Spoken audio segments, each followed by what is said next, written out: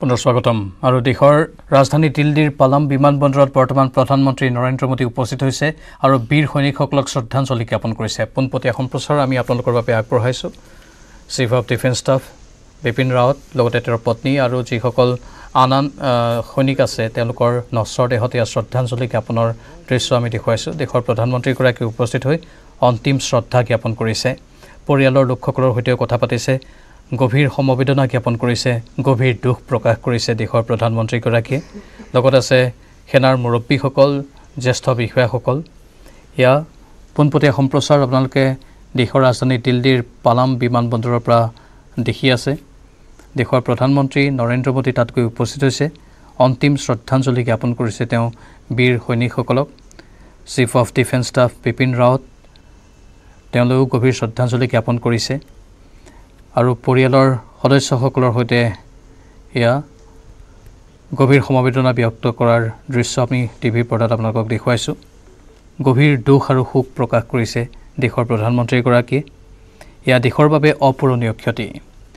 বিপিন ৰাৱতে যিখিনি অৰিহণা আগবঢ়াই গৈছে দেশৰ সামৰিক ক্ষেত্ৰখনক সেয়া কেতিয়াও কোনেও পাহৰিব নোৱাৰে। তেওঁ যিখিনি কাম কৰি গৈছে তাক সদায়েই ৰোমন্থন কৰা হ'ব। অতীত স্মৃতিসমূহ সদায় প্ৰত্যেকগৰাকী ব্যক্তিয়ে ৰোমন্থন কৰিব। দেশৰ সেনাক শক্তিশালী ৰূপত গঢ়ি তোলাৰ ক্ষেত্ৰত প্ৰতিৰক্ষাৰ ক্ষেত্ৰত যিখিনি কাম কৰিছে তেওঁ যিখিনি নীতি তেওঁ গ্ৰহণ কৰিছিল সেই নীতিৰ বাবেই বৰ্তমান ভাৰতীয় সেনা সবল ৰূপত আছে। দেশৰ প্ৰধানমন্ত্ৰীগৰাকীয়ে সেই কথা নিজেও ব্যক্ত কৰিছিল কালি আৰু আজি এয়া অন্তিম শ্ৰদ্ধাঞ্জলিৰ ক্ষণত তেওঁ নিজে উপস্থিত হৈছে। ইতিমধ্যে প্ৰতিৰক্ষা মন্ত্ৰীয়েও অন্তিম শ্ৰদ্ধাঞ্জলি জ্ঞাপন কৰিছিল। বিপিন ৰাৱত আৰু আন আন সেনাৰ জোৱান বা বিষয়াসকলক। আৰু তাৰ পাছতেই এয়া প্ৰধানমন্ত্ৰী কেন্দ্ৰীয় গৃহমন্ত্ৰী অমিত শ্বাহো উপস্থিত হৈছে আৰু সকলোৱে গভীৰ দুখ প্ৰকাশ কৰিছে। এক দুখজনক বাৰ্তা আহিল কালি এই দুৰ্ঘটনাৰ খবৰে সমগ্ৰ দেশক শোকত ম্ৰিয়মান কৰি পেলালে। আৰু প্ৰধানমন্ত্ৰীগৰাকী বৰ্তমান তাৰ পৰা ওলাই গৈছে বিমানবন্দৰৰ পৰা। অন্তিম শ্ৰদ্ধাঞ্জলি জ্ঞাপন কৰাৰ পাছত বিদায় লৈছে দেশৰ প্ৰধানমন্ত্ৰীগৰাকীয়ে। দেশৰ বাবে এই দুখজনক খবৰটো যেন কোনেও সহ্য কৰিব পৰা নাই। আগন্তুক দিনত যাতে এনেধৰণৰ ভুল নহয় তাৰ বাবেও দৃষ্টি ৰখা হ'ব বুলি কোৱা হৈছে। যান্ত্ৰিক বিজুতিয়েই হওক বা আন কিবা কাৰণতে এই দুৰ্ঘটনা সংঘটিত নহওক কিয় প্ৰতিটো দিশ আগন্তুক দিনত ভালদৰে চালি জাৰি চোৱা হ'ব। আৰু এই দুৰ্ঘটনাৰ প্ৰকৃত কাৰণ কি? সেয়াও সকলোৰে সন্মুখত দাঙি ধৰা হ'ব বুলি উল্লেখ কৰা হৈছে। তদন্ত প্ৰক্ৰিয়া ইতিমধ্যে আগবাঢ়ি আছে। ব্লেক বক্স উদ্ধাৰ কৰা হ'ল।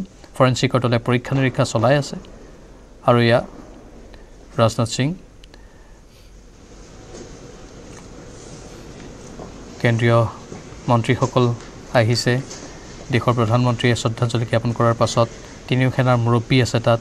সকলোৱে অন্তিম শ্ৰদ্ধাঞ্জলি জ্ঞাপন কৰিছে।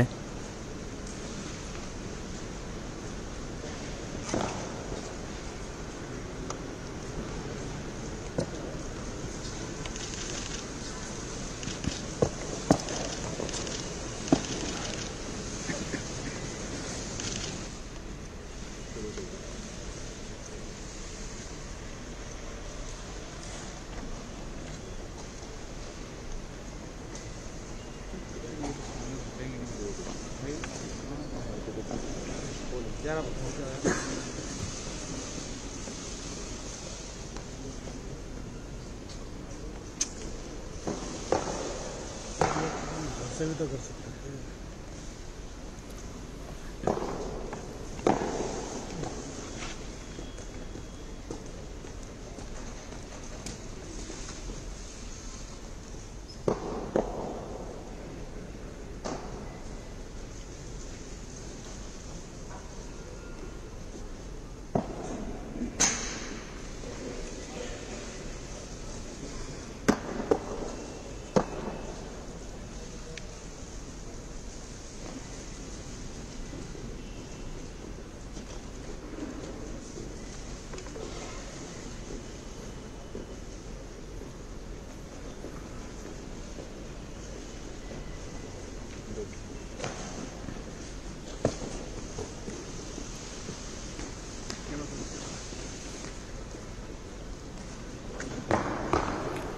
নিৰাপত্তা উপদেষ্টা অজিত ডোভালো উপস্থিত হৈছে।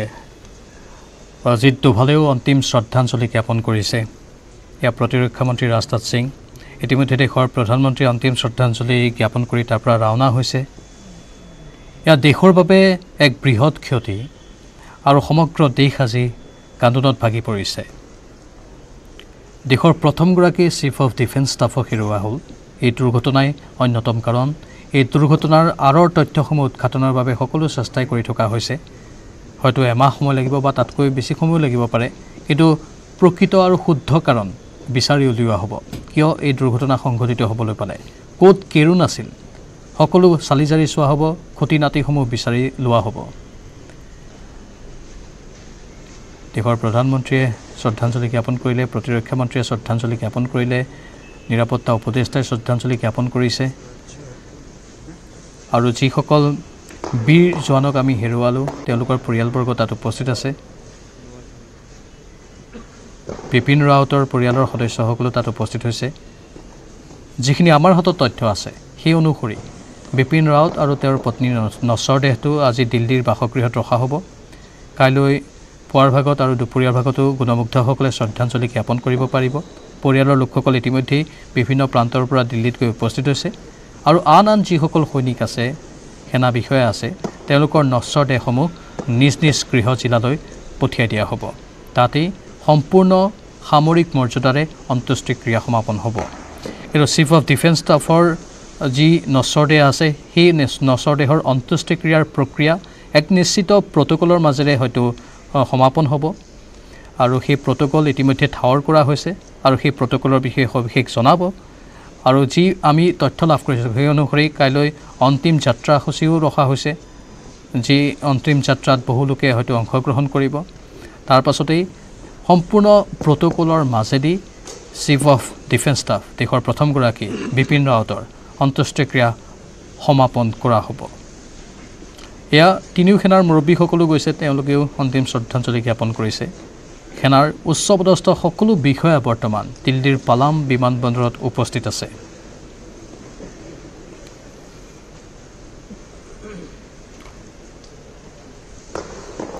চৈধ্যজন আছিল হেলিকপ্টাৰখনত তেৰজনৰ মৃত্যু হ'ল। গ্ৰুপ কেপ্টেইন বৰুণ সিং এতিয়াও জীৱিত অৱস্থাত আছে। কিন্তু অতি গম্ভীৰ তেওঁৰ অৱস্থা। স্বাস্থ্যৰ দ্ৰুত অৱনতিহে ঘটি আছে।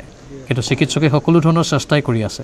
আজি দিনৰ ভাগত এখন বিশেষ এম্বুলেঞ্চৰ সহায়ত তেওঁক ৰাজপথৰ জৰিয়তেই চুলুৰলৈ লৈ যোৱা হৈছিল আৰু চুলুৰৰ পৰা কামান হস্পিটেল বেংগালুৰুলৈ লৈ যোৱা হৈছে উন্নত চিকিৎসাৰ বাবে।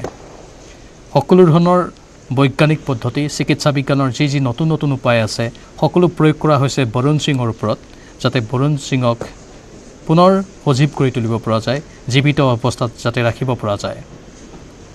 গ্ৰুপ কেপ্টেইন হয় বৰুণ সিং। তেওঁ আছিল সেই হেলিকপ্টাৰখনত। তেৰগৰাকীৰ মৃত্যু হ'ল এজন এতিয়াও জীৱিত। তেওঁৰ নামেই হৈছে বৰুণ সিং। সকলোৱে প্ৰাৰ্থনা কৰিছে ভগৱানৰ ওচৰত যাতে তেওঁ সোনকালে সুস্থ হৈ উঠে। কিন্তু নিয়তিৰ নিষ্ঠুৰ পৰিহাসত দেশৰ প্ৰথমগৰাকী চিফ অফ ডিফেন্স ষ্টাফক আমি হেৰুৱালোঁ। কালি এই শোকাবহ দুৰ্ঘটনাটোত। যিগৰাকী বিপিন ৰাৱতে নিজৰ কাৰ্যকালত বহুখিনি অৱদান আগবঢ়াই থৈ গৈছে। দেশৰ প্ৰধানমন্ত্ৰীয়েও সেই কথা কৈছে প্ৰতিৰক্ষা মন্ত্ৰীয়েও কৈছে। যিখিনি অৱদানক কেতিয়াও দেশবাসীয়ে পাহৰিব নোৱাৰে। যিখিনি কাম তেওঁ নিজৰ দায়িত্বকালত কৰি থৈ গ'ল সেই কামখিনিৰ জৰিয়তে তেওঁ ভাৰতীয় সেনাবাহিনীক শক্তিশালী আৰু স্থিতাৱস্থাত ৰাখিব পৰা বিভিন্ন দেশৰ শত্ৰুৰ পৰা ৰক্ষা কৰিব পৰা নিজৰ দেশক তেনেধৰণৰ এক গঠন দি গ'ল। যি গঠনৰ জৰিয়তে আগন্তুক দিনত হয়তো ভাৰতবৰ্ষই বিভিন্ন ক্ষেত্ৰত শত্ৰুক পৰাভূত কৰিবলৈ সক্ষম হৈয়ে থাকিব। সেয়েহে চেলুট জনাইছে এইগৰাকী বীৰ যোদ্ধাক বিপিন ৰাৱতক সকলোৱে। অন্তিম শ্ৰদ্ধাঞ্জলি ক্ষণত আজি প্ৰতিগৰাকী সেনা বিষয়া সেনা জোৱান তাত উপস্থিত হৈছেগৈ আৰু সকলোৰে চকুলো নিগৰিছে কিন্তু বাস্তৱ সত্যক মানি ল'বই লাগিব। যি দুৰ্ঘটনা সংঘটিত হ'ল সেই দুৰ্ঘটনাৰ কথা সকলোৱে কৈছে। এনেধৰণৰ দুৰ্ঘটনা যাতে পুনৰাই সংঘটিত নহয় তাৰ ওপৰত দৃষ্টি ৰাখিব লাগিব।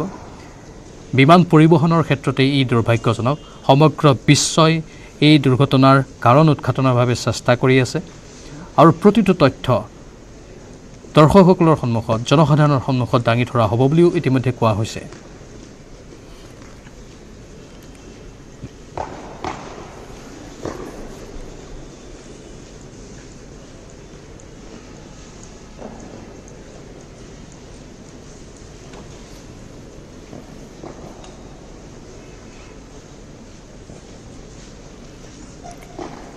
বিপিন ৰাৱতে উত্তৰ পূৰ্বাঞ্চলৰ বিভিন্ন ক্ষেত্ৰতো কাম কৰিছিল বিশেষকৈ উত্তৰ পূৰ্বাঞ্চলৰ ইনচাৰ্জেঞ্চি নিয়ন্ত্ৰণত এক বিশেষ ভূমিকা তেওঁ গ্ৰহণ কৰিছিল। ম্যানমাৰ সীমান্ততো এটা চাৰ্জিকেল ষ্ট্ৰাইক হৈছিল আজিৰ পৰা কেইবছৰমান পূৰ্বে তাতো বিপিন ৰাৱতৰ ভূমিকা অতি সদৰ্থক আছিল শক্তিশালী আছিল। আৰু উত্তৰ পূৰ্বাঞ্চলৰ বিভিন্ন উগ্ৰপন্থী গোটসমূহৰ সৈতে বিশেষকৈ যিকোনো প্ৰকাৰৰ কুটাঘাতমূলক কাৰ্য বা যিকোনো প্ৰকাৰৰ অপ্ৰীতিকৰ পৰিস্থিতি ৰোধ কৰাৰ ক্ষেত্ৰত তেওঁ যিখিনি পদক্ষেপ লৈছিল সেই পদক্ষেপখিনিৰ কথাও আজি সকলোৱে ৰোমন্থন কৰিছে।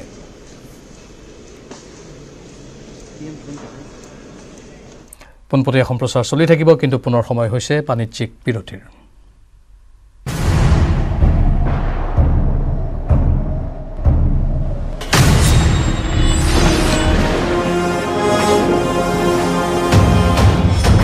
এতিয়া বিস্ময় জানে স্ট্রং মানে। মাইথান স্টিল। নির্মাণৰ মানদণ্ড।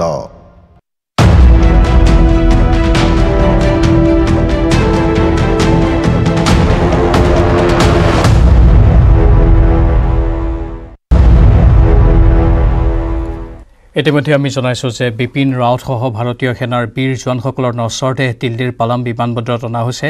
দেশৰ প্ৰধানমন্ত্ৰীয়ে অন্তিম শ্ৰদ্ধাঞ্জলি জ্ঞাপন কৰিলে প্ৰতিৰক্ষা মন্ত্ৰীয়ে অন্তিম শ্ৰদ্ধাঞ্জলি জ্ঞাপন কৰিলে ৰাষ্ট্ৰীয় নিৰাপত্তা উপদেষ্টাই অন্তিম শ্ৰদ্ধাঞ্জলি জ্ঞাপন কৰিলে পৰিয়ালৰ সদস্যসকলে অন্তিম শ্ৰদ্ধাঞ্জলি জ্ঞাপন কৰিলে পালাম বিমানবন্দৰতেই সমান্তৰালভাৱে সেনাবাহিনীৰ তিনিও সেনাৰ মুৰব্বী আৰু লগতে আন আন যিসকল উচ্চপদস্থ বিষয়া আছে তেওঁলোকেও অন্তিম শ্ৰদ্ধাঞ্জলি জ্ঞাপন কৰিলে। এক শোকাকুল পৰিৱেশৰ সৃষ্টি হৈছে। এক হৃদয় বিতাৰক খবৰ যি খবৰে আমাৰ সকলোৰে অন্তৰ কঁপাই তুলিছে কিন্তু এয়া হ'ল নিষ্ঠুৰ বাস্তৱ আমাৰ সতীৰ্থ সাংবাদিক আহ, সুশীল পাণ্ডেহে আছে বৰ্তমান পোনপটীয়া সম্প্ৰচাৰত বিপিন ৰাৱতৰ বাসগৃহৰ সন্মুখত তেওঁ উপস্থিত আছে सुशील अ, सुलूर से सभी मृतकों के पार्थिव शरीर को भारतीय वायुसेना के वायुयानों द्वारा दिल्ली लाया गया अभी फिलहाल अ, सभी अ, शोक संवेदना व्यक्त कर रहे हैं पालाम विमानकोट पर लेकिन आप घर में हैं अ, बिपिन रावत के। जनरल बिपिन रावत का पार्थिव शरीर 10 दिसंबर कल मतलब उनके आवास पर सभी के अंतिम दर्शन के लिए राज्य में रखा जा रहा है। और क्या कुछ अपडेट है आपके पास इस विषय पर? जी देखिए, साफ़ तौर से आप सही कह रहे हैं कि पालम एयरपोर्ट पर तमाम शहीदों के जो पार्थिव शरीर हैं, वो रखे गए हैं। प्रधानमंत्री स्वयं पार्थिव शरीर पर कहीं ना कहीं अंतिम दर्शन के लिए गए। राजनाथ सिंह जो रक्षा मंत्री हैं, वो भी वहाँ पहुँचे हैं और तमाम जो लोग हैं, जो बड़े उनके परिवार से जुड़े लोग हैं, वो भी अंतिम दर्शन के लिए वहाँ पहुँचे हैं। चूँकि आज पालम एयरपोर्ट पर तमाम शहीदों के पार्थिव शरीर को रखा गया है, मैं आपको दिखाऊँगा। अभी आप देखिए ये जनरल बिपिन रावत का फ़िलहाल आवास है। यहाँ पर सुरक्षा बढ़ा दी गई है। तमाम जो दिल्ली पुलिस के जवान हैं, वो भी खड़े कर दिए गए हैं। पैरामिलिट्री फोर्सेस तैनात किए गए हैं। आर्मी के जो जवान हैं, वो भी तैनात किए गए हैं।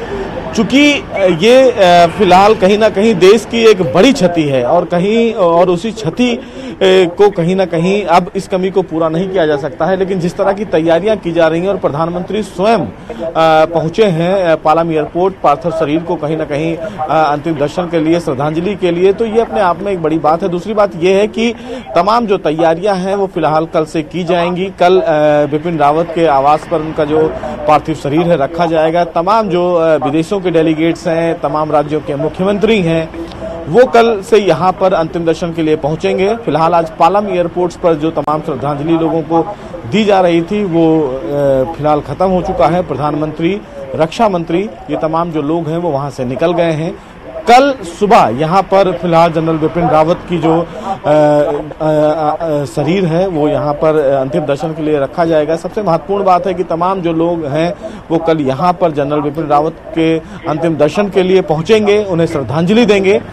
महत्वपूर्ण बात इस मामले में ये भी है कि देश के प्रधानमंत्री कल यहाँ पर खुद मौजूद होंगे, वो आएँगे। हालाँकि जो बताया जा रहा है कि उनके सम्मान में रथ यात्रा भी निकाली जाएगी, उस रथ यात्रा में तमाम लोग शामिल होंगे, क्योंकि जनरल बिपिन रावत एक बड़ा नाम थे, पहले सीडीएस थे और इस प्रकार हादसे में जिस तरह जनरल बिपिन रावत के साथ साथ तमाम जो तेरह लोग हैं वो फ़िलहाल वीरगति को प्राप्त हुए हैं और इसीलिए तमाम तैयारियाँ पूरी की जा रही हैं। हालाँकि यहाँ पर सुबह से ही जो मीडिया का जमावाड़ा है, वो लगा हुआ है। पालम एयरपोर्ट पर जैसे ही पार्थिव शरीर पहुँचा है, प्रधानमंत्री भी पहुँचे हैं, रक्षा मंत्री भी पहुँचे हैं, कई बड़े अधिकारी आर्मी से जुड़े हुए वो भी पहुँचे हैं।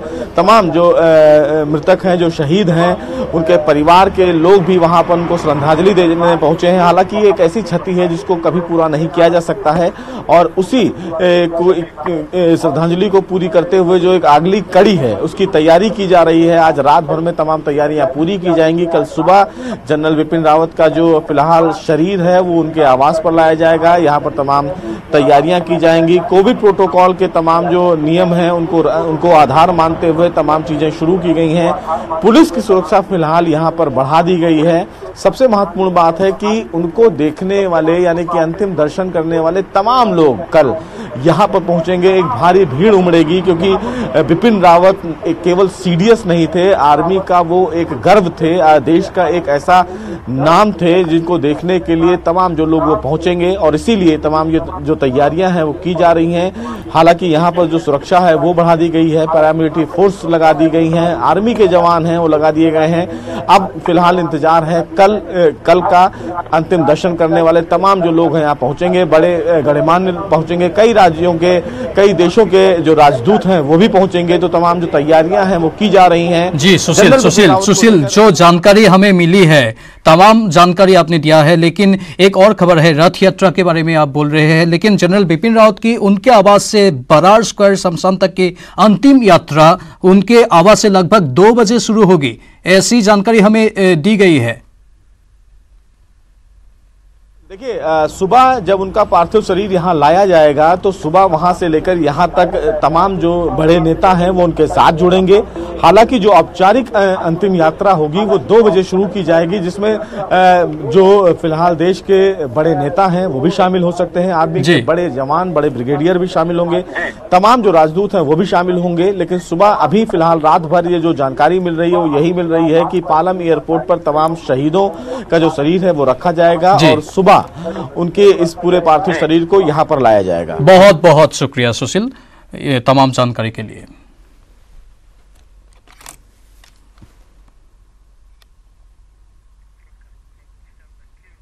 আৰু ইয়াৰ লগে লগে সময় হৈছে এতিয়াৰ বাতৰিৰ পৰা বিদায় লোৱাৰ। নমস্কাৰ।